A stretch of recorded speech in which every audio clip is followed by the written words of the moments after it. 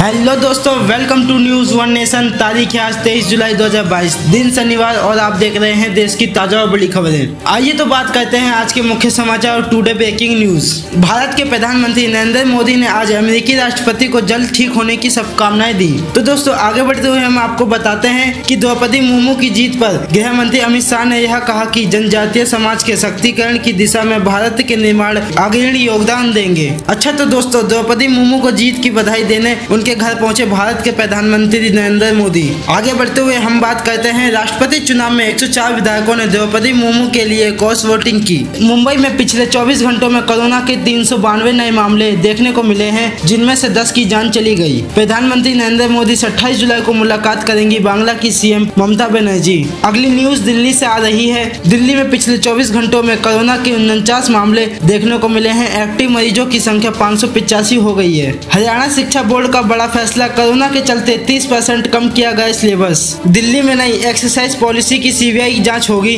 LG ने की सिफारिश।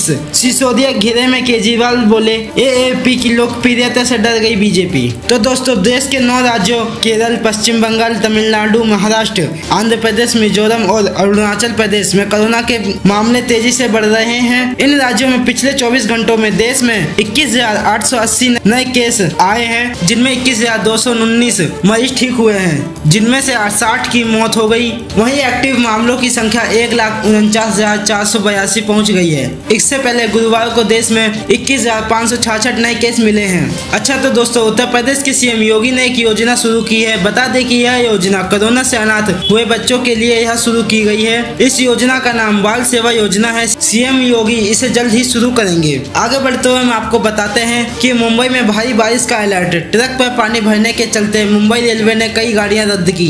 दिल्ली में आज किसानों का प्रदर्शन, जनता मंत्र और सिंधु बॉर्डर पर सुरक्षा बढ़ाई गई। आज़ादी का महोत्सव, स्वतंत्रता दिवस के लिए सूरत में तैयार हो रहे 10 करोड़ तिरंगे। अब तक 50 करोड़ रुपए से अधिक के ऑर्डर मिले हैं। बारहवीं के बाद सीबीएसई दसवीं के रिज़ल्ट भी आए हैं। बारहवीं में राजस्थान में पिचानवे परसेंट स्टूडेंट पास गर्ल्स रही आगे। यूपी के कानपुर में तीसरे दिन भी झमाझम बारिश। गंगा बैराज के सभी तीस गेट खोले गए। घाटों के किनारे बढ़ाई गई सतर्कता।